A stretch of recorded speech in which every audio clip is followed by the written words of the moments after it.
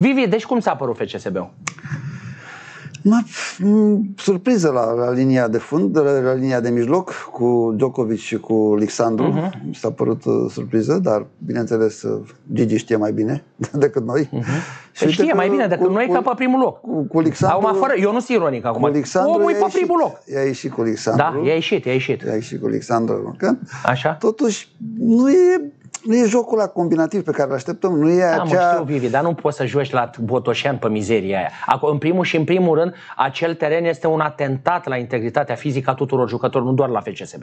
E un atentat. Oare tu ți-aduci aminte când am jucat în 2003 cu Liverpool pe, pe Ghencea? Că era noroiul cât uh, dozele. Nu, nu, eu sunt de Și acord, dar am băieții, pasat, am eu făcut- știu, băieții joacă permanent. Poți fi- Mai înțeles acolo. Voi ați jucat atunci, dar nu vrei să spun ceva? Mie, Poți. mie tu știi Să știi ce? că me- la meciul cu Liverpool cred că i-a incomodat mai mult pe ei decât pe noi. nu pe... Da, dar și la când am dus, când am dus pe Enfield Road pe, pe postavul Da, ăla da, așa, da, pe masa de biliard. A fost doar 1-0 cu, pe... cu mai, Ronnie O'Sullivan, mai, Da, mai, mai Ronnie înțeles? O'Sullivan, da, Ren- poate- Ronnie O'Sullivan Cu mai papură lipsa. trebuie să Mie- vorbim de Ronnie. Da, mie Papură îl știe mai bine. da, mie știi ce, uh, știi ce uh, respect la, ăsta e cuvântul, respect la FCSB. Față de anul trecut au un pragmatism, Vivi. Ai- Asta spun și eu, că ei, majoritatea meciurilor au, au, au condus. Și apoi se apără, se apără mult mai bine, se apără cu toată echipa. Uh-huh. Se apără, Mhm. Da, da, toată echipa se inclusiv apără, da, așa e. uh, Florinel face acum, ca și la echipa națională, a început să facă faza defensivă. Exact. Florinel înainte nu făcea faza defensivă. A? Da. Bă, da, Și cel, mai Andre- bun, cel mai bun fundaș al uh, FCSB-ului e Companiu. Da? Companiul Andreas? Andreas. Stai, și acum i s-a oferit și șansă. A jucat tot meciul. jucat tot meciul. Da, dar- dar cel mai bun a 94 de fost, minute. Cel mai bun a fost în apărare. Da, El a cum? respins cu corner, a, a fost și făcut și o jumătate de penalti pe acolo. Cu, Da? da Deci cel mai bun fundaș. Cel mai bun, deci companiul s-a simțit în largul lui în care o propriu. Aha. În care și în propriu a care fost- u botășenelor moldoveni? Era stinger. A? Era A? stinger. Inexistent, da? Mamă, ce îi place lui, lui Vivi de companiu, Da, da. A? Da, A? păi, cei mai buni sunt portarii, după cum vă dai stele, și atacanții, dar invers, când se apără, nu când, când E atacă. fan mare Băi, companiu. oi, au fost trei meciuri ieri în care 0-0, 0-0, 0-1. Da. Deci, îți dai seama că ne-am m-am la Ploiești, am Te-ai fost și gândit aseară, bă, dar ce n-ai vorbit la emisiune?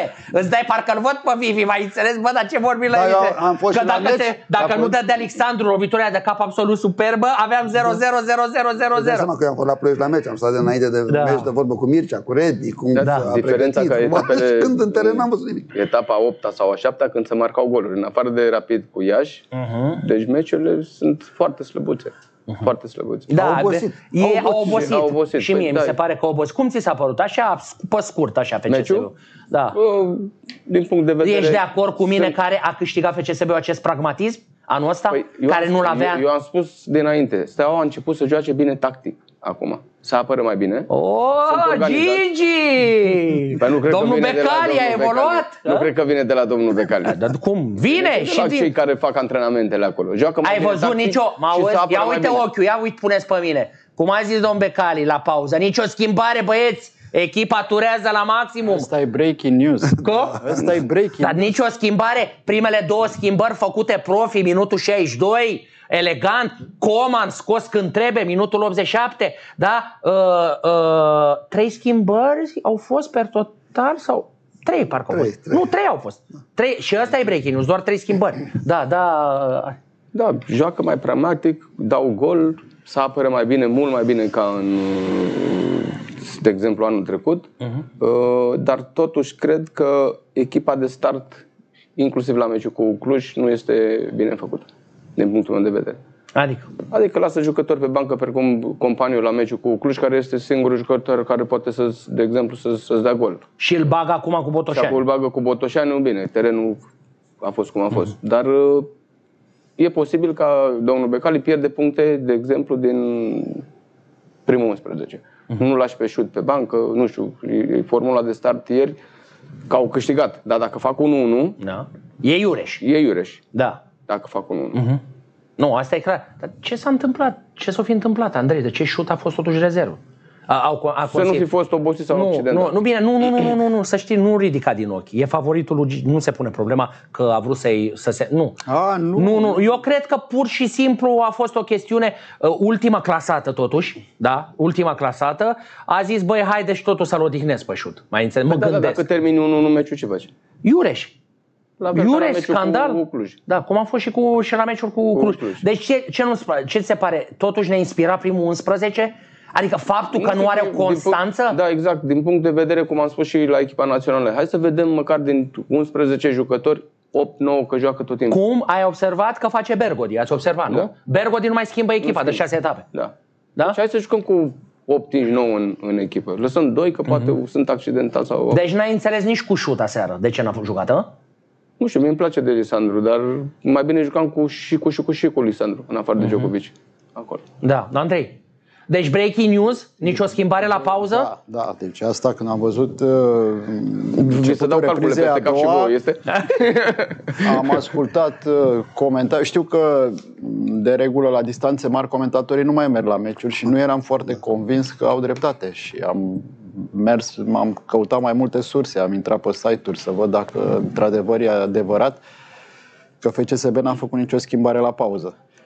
Uh, Normal că era 1 la 0, ar putea spune unii, dar am văzut schimbări și când FCSB conducea cu 2 la 0. Adică nu, asta era neapărat Mhm. Nu, element. FCSB Dar, a arătat ieri ca o echipă re- normală, profesionistă, în care în minutul 62 s-au făcut absolut firesc schimbările, Coman scos logic în minutul 87, adică, O repet, echipă, o echipă matură. Din Cum? Matură. Da, da, da, da, da. o Adică echipă din matură. punctul de vedere al schimbărilor, mi s-a părut o echipă așa cum, a- o echipă de locul 1, așa cum este FCSB. Pentru că una peste alta, lăsând, uh, lăsând fuleul CFR-ului, care evident că e o echipă puternică, lăsând spectaculozitatea cu care joacă în ultimele etape, Rapidul, într-adevăr, pare, Andrei, cea mai bună echipă, cea mai legată echipă FCSB-ul. Este echipa cu cel mai bun lot, cel mai, adică și numeros și valoric, și cantitativ și calitativ. Așa mi se pare în, în momentul ăsta, sigur, la bătaie cu CFR, că și CFR are. Da, echipă foarte Eu are cred că un lot. CFR o are, te contrazic aici. Păi, Hai să Da. nu, cele trei schimbări ale lui CFR au intrat Camora, Deac, Bârligea. Toți trei odată.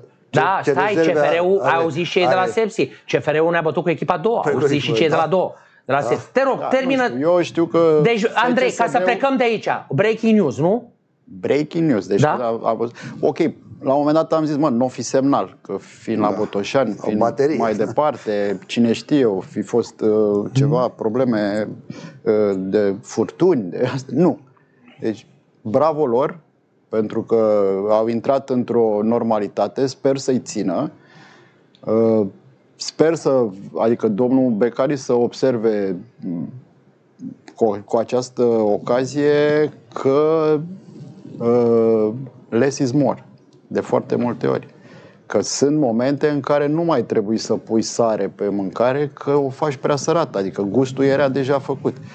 Uh, dar în același timp, uh, FCSB-ul nu mi se pare încă uh, să fie ajuns la nivelul în care să impună ritmul ju- unui joc. Adică sunt situații, cum a fost acum cu FC Botoșani, o echipă cu jucători de valoare îndoielnică, în care aș fi simțit nevoia să văd o posesie în momentul în care ai 1 la 0, deci o reglare a meciului, a ritmului meciului. Pentru că la un moment dat se juca pe contre.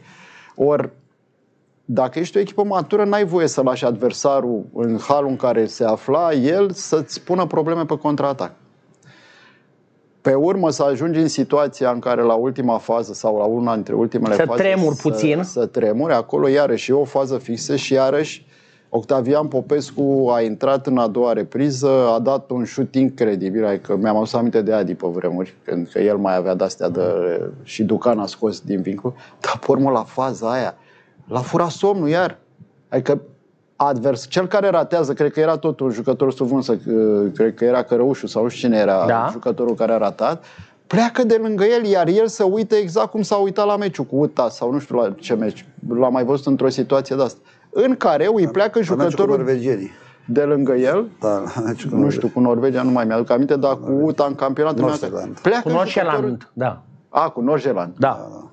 Așa. Uh, nu, cred că cu UTA. Erau parcă un meci de și cu campionat. UTA și cu Nordsjælland. Adică, păi, n-ai o responsabilitate, ești om de echipă, e ultimul minut uh, al jocului, nu te uiți ce se întâmplă în jurul tău. El pur și simplu a stat și s-a uitat la coleg, uh, la, uh, mă rog, adversarul lui care pleacă de el și trage și scoate Târnovan. Uh-huh. Putea fi cu mare ușurință unul la unul. De asta spun că deocamdată echipa e formată din jucători valoroși, dar nu are acea maturitate. Iar